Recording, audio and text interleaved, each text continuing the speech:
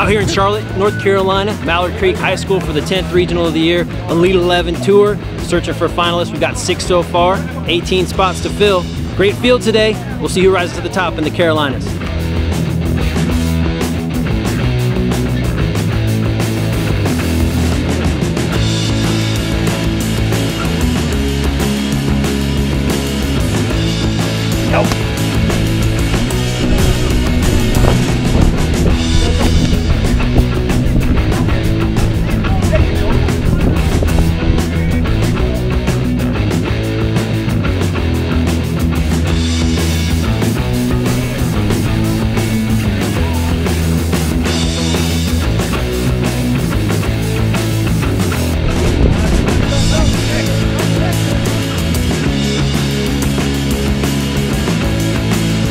Tenth regional is complete, Charlotte, North Carolina, and we found our sleeper for the year maybe in Jett Duffey, our seventh invitee to the Elite 11 Finals. This is Jett's third camp, second time he's got an MVP, and, and you know after a while you just can't deny a kid because he's come out and competed with the best in the country in Texas, New Orleans, and now Charlotte. Two MVP awards, so Jett punches his ticket to the Elite 11 Finals, and then a really good group. Uh, Austin Kendall and a great underclassman in Davis Mills that made their presence felt in the pressure chamber today. So great day in Charlotte, we're looking forward to heading out to Oakland next week for the 11th Regional of the year. We'll see you in Oakland.